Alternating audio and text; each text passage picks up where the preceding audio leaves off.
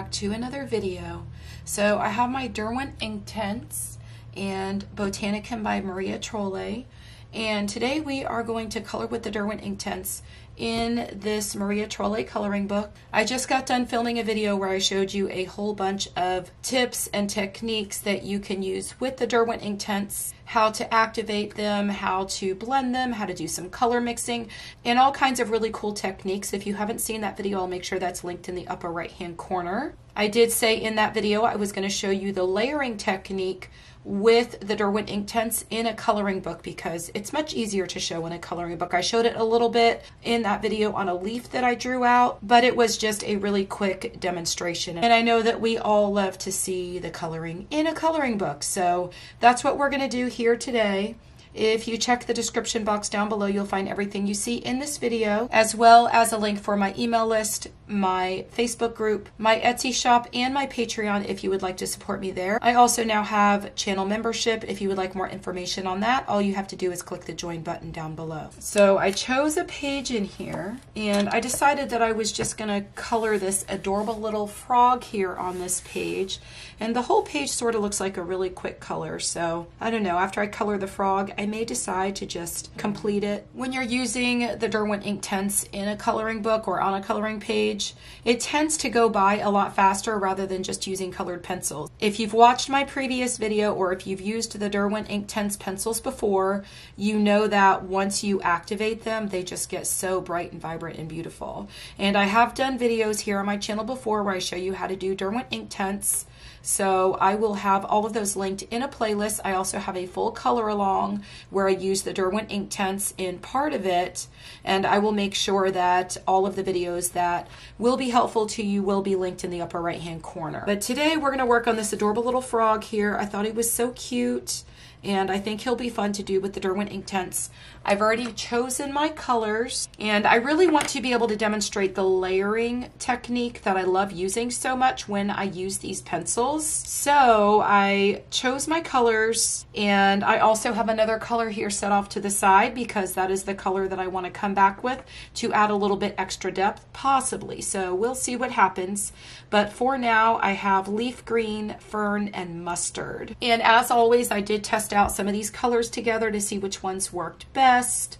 And I believe this right here is the color combination that we're going to be using. And then this over here, I think it's the leaf green with the oak. I think the leaf green is our darkest one. Yeah. This is what the leaf green looks like once it's activated. So this is the leaf green with this oak color here that I have set off to the side that I don't know if I'm going to bring in yet, but this is the three colors that I already did test and that's how they look together. Always make sure you test your colors, whether you're using colored pencils or you're using Derwent Inktense or whatever medium you're using. Always make sure you test your colors out before you bring them to your coloring page because you want to know that they're going to look nice once they all come together. So I think I chose the right colors. We'll have to see what happens when this adorable little frog is finished. So with the Derwent Inktense, the first thing that you're going to want to do is you're just going to want to lay down your colors. And this is my mustard, so I'm going to lay this only in the places where I want a little bit of a pop or a highlight. And this color, once it's activated, it does look brighter than this. And I'm just really using this color just to add a little bit of a contrast as well. So now I'm going to come back with my fern and I'm going to lay this color down and just sort of blend it into that other color. I do sort of want a blend of some of these colors. So you'll notice that some of the colors are going to be blended into others. And if you watched my last video, you will see that these pencils are so fun to blend with because you can actually create a whole nother color. And in some of these places I am going to come back with my Inktense and I'm going to lay the color right over some of these other colors. Over here under his belly, I would assume that it would be darker, so I'm just going to lay more of that color down under there. And I'm just gonna move this right into his leg and then down here onto his little feet. Okay, and then down under here, I would assume a whole lot of light's not getting in here, so I'm just going to lay a lot of that color down there. And you could see that I'm just laying these colors right next to each other, which really at this point doesn't matter. I do it a little bit differently when I'm using my colored pencils, I would probably not come in here and lay these colors right next to one another because I want to show the separate sections.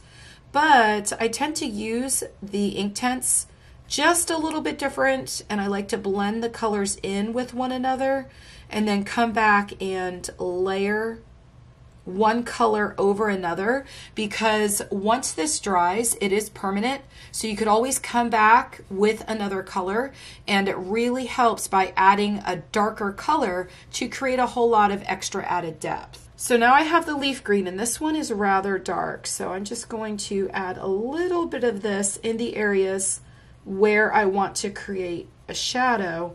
And you can see that I am definitely going right over where I laid that other color. And then all in here where he has his little foot laying over, I want this a little bit darker in here. So I'm gonna go all around his little toes.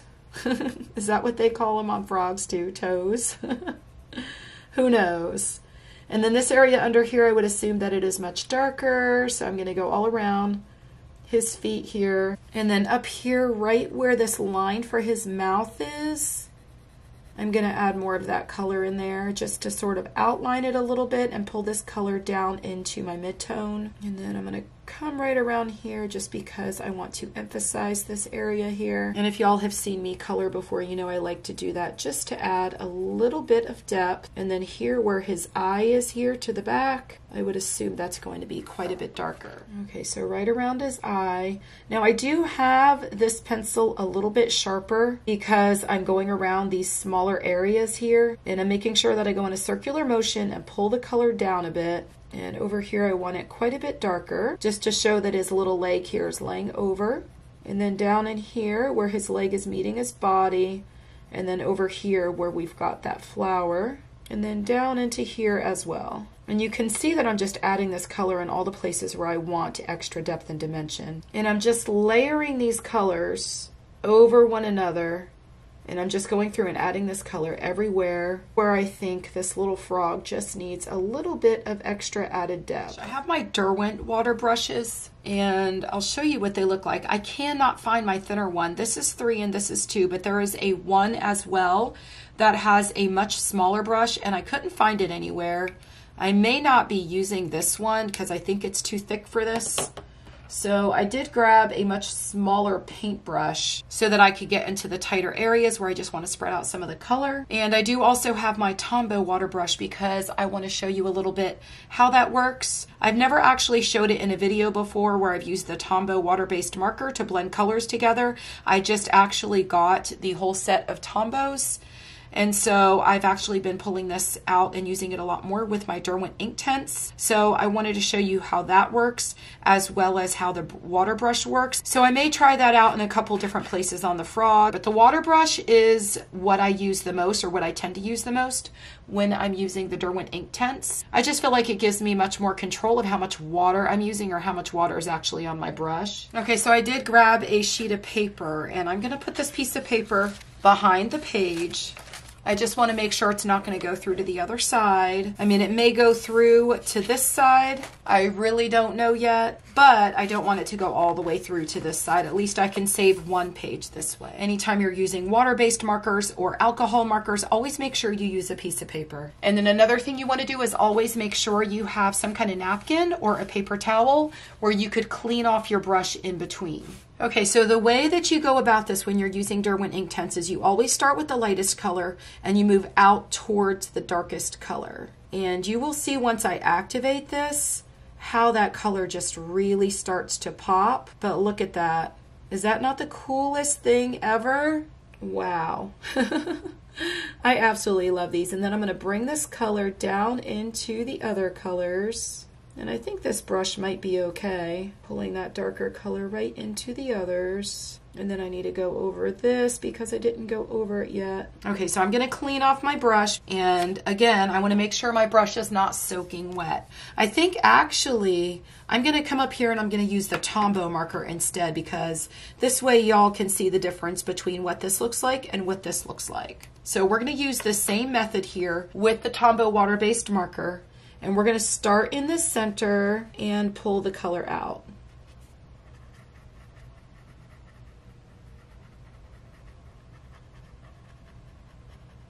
And this actually may give you even more control with your colors than using a water brush. You really can't tell a whole lot of difference, but there's a little bit of a difference in the way that it feels. So let me come up here and use this and just pull this color up. Then maybe we could use the Tombow marker down here as well. I'm again starting with my lightest color and pulling it right into my darker color and then I'm going to pull my darker color down a little bit just to get that good blend. And then I'm going to come over here and I'm going to wipe off my marker because I've got a lot of lighter color here and then I'm going to come all the way into here with this and I want to keep this a little bit lighter so that's why I didn't go all the way into the top of his foot there. Okay, so since I showed in my last video where I showed all the different techniques and the way to activate these, I did show how to do that with an alcohol marker as well. So I'm going to do one part of this frog with the alcohol marker and we're going to see what happens and if it looks any different. So I'm just going to do the bottom part here of his foot and I'm going to come in here. Let me make sure that this doesn't have any color on it. So I'm just going to come down here in the bottom part. Again, I'm going to start with the lightest color and I'm going to move out to the darkest color. And I will say honestly that I don't as much like the way using an alcohol marker feels. I think I prefer either the Tombow water-based or using a water brush or even a brush. Now I'm going to come back with my brush and I'm going to do a little bit of his foot here. So I'm just going to use water and brush and show you how that works. So I'm just going to come over here where I have the lightest color and pull it into the darker color. So I don't think I even added the darkest color yet over here in this part of his little foot, but I did do the mid-tone green and the mustard. And that brush is probably not thick enough, but let's go ahead and see if I can do this part down here. And I did add a little bit more water this time.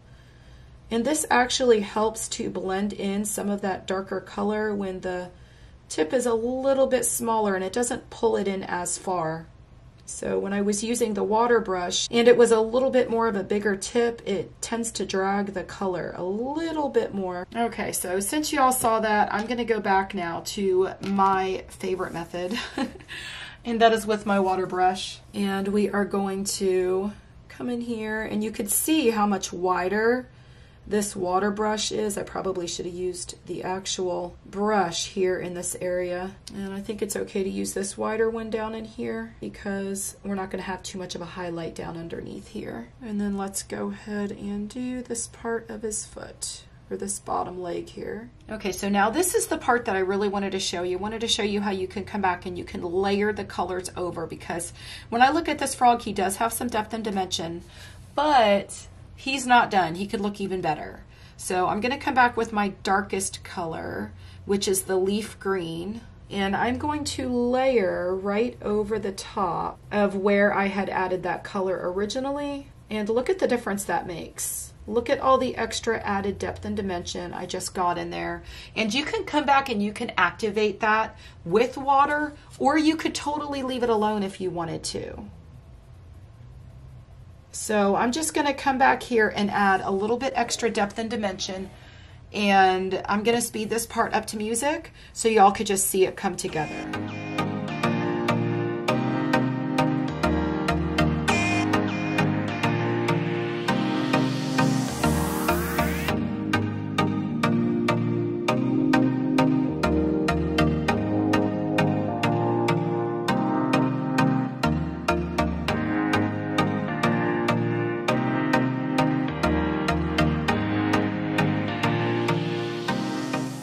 Again, just make sure that you're watching how much water you're using and we're gonna start with the lightest and we're gonna move it into the darkest. And look at that sun yellow once it's activated. Oh my.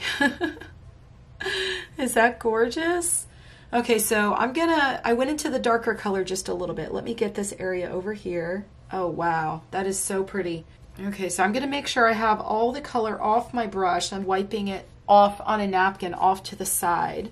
And again, I'm going to make sure I don't have a whole lot of water on my brush. Actually, I think I want to come back in here and just add a pop of that sun yellow because that looked so pretty. Now I'm going to start where I laid that color and blend that out into the darkest color. Oh my, look how pretty that is. Come down here and blend all these colors out again right into that darker color and I'm going to be really careful where I'm going over this darker color here. These are like a dream to work with. They honestly are. They're literally like magic. And then I need to brush off my brush one more time. And then I'm going to come down here where I added that lighter color and pull that again into the darker color. And if you saw my previous video, the reason you want to do that is because if you start with the darker color and pull it into your lighter colors, you're going to sort of lose some of that highlight on your coloring pages because it's just going to blend those two colors together and create a different color.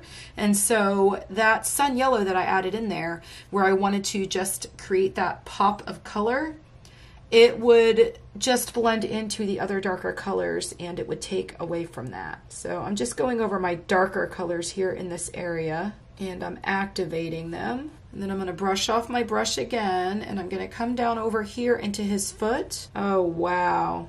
Look at, I added that sun yellow there. Look how beautiful that is. Look at that color once you activate it. It's like, wow. once you activate these, they just get so much darker and so much more vibrant. So I'm going to come in here and blend some of this out because I did add a lot of this color into here because I would assume a lot less light is getting into here. But look how much darker that just got. But I think he looks like he has a lot more depth and dimension and now he has that extra pop because of the sun yellow. Oh, I love him. He's so cute. Look at those colors. Now, think I want a little bit, a tad bit of the sun yellow in here. Now, this is still a little bit wet, so me adding this color right in here, it's just going to blend right in because it hadn't dried yet. So now let me come over here and grab my oak.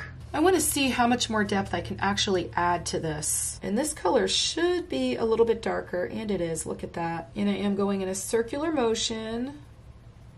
Now the reason you can do this and just continue to layer so many times is because these are permanent once you lay them down and activate them. And so that gives you the ability to come back and lay all these layers. Now this should get darker after I come back and I activate it again. Okay, so I think that's enough of that. Let me go ahead and activate where I laid that color.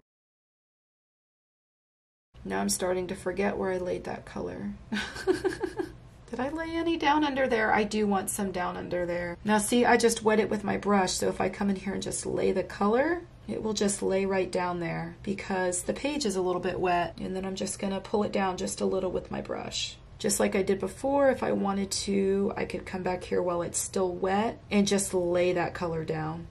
And look how easily it lays down and it just automatically blends. So that's another way that you could do it if you want to just wet your book just a little bit. I wouldn't do it a whole lot. But if you want to wet it just a little bit and then go over it with that color, you could totally do that too. And then here I'm just sort of pulling the color upward into those other colors. But I think he looks adorable. I do think I just need to blend a little bit more color in there. And then right down in here, I think I want a pop of this sun yellow. And then I think I need to add just a little bit of the fern right in here just to blend it out a little bit. And my page is still just a little bit wet, so it's just going to sort of blend the colors. I'm blending it right into that mustard and the areas where that sun yellow was. And do you see how the colors are still blending out? you can come back and just add so many layers. And this coloring book is just wonderful. See again here, I could just continue to blend that color out. So I finished the filming of this entire video and I just couldn't leave this adorable little frog unfinished. I had to come back and color in his crown. So I grabbed the sun yellow and the mustard from the Derwent Inktense. I believe I only used two colors here. And then I came back and activated the colors with the Tombow water-based marker.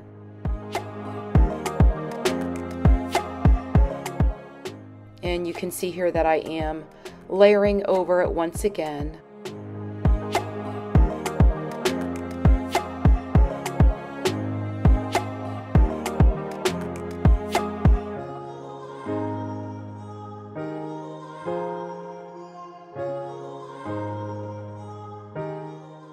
Then I decided to grab my Ohuhu glitter markers, which are absolutely wonderful.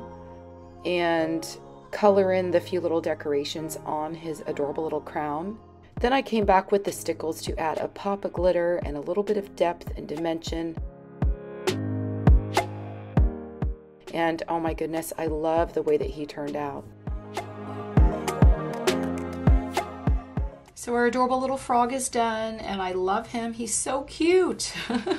I hope this video was helpful and showed you all the different ways you can activate your Derwent Inktense. I know that I did it in the previous video, but I wanted to be able to do it in a coloring book because I think that makes all the difference in the world. And so you can see with some of the areas in the beginning of the video where I did it with the alcohol marker, I did it with the water-based marker, you really can't tell any difference in the way that it actually looks. So visually it looks the same. It will feel differently though to you. You'll have to try out some of the different methods that I used in this video to activate the Derwent Inktense because you may prefer one over the other. One may be easier for you than the other one. You may find that you have a little bit more control using your uh, Tombow brush pen. If you don't have a Tombow brush pen and you want to try to use that, you can actually buy these open stock. So you can just buy one open stock of this to try it and see how you like it. But unfortunately with the Ohuhu or the alcohol based markers, you're not going to be able to get a colorless blender unless you are purchasing a whole set. But I can honestly say that I don't prefer the alcohol blender and using it on my coloring pages. I really prefer either the water brush or the Tombow water-based blender. Either one of those are going to help you to control the amount of water that you're laying down onto your coloring page. And of course, when you're using using these in your coloring books, it's very important because you definitely want to be able to control that amount of water. So even if you're using a regular brush, make sure that you don't saturate it before you put it on your coloring page.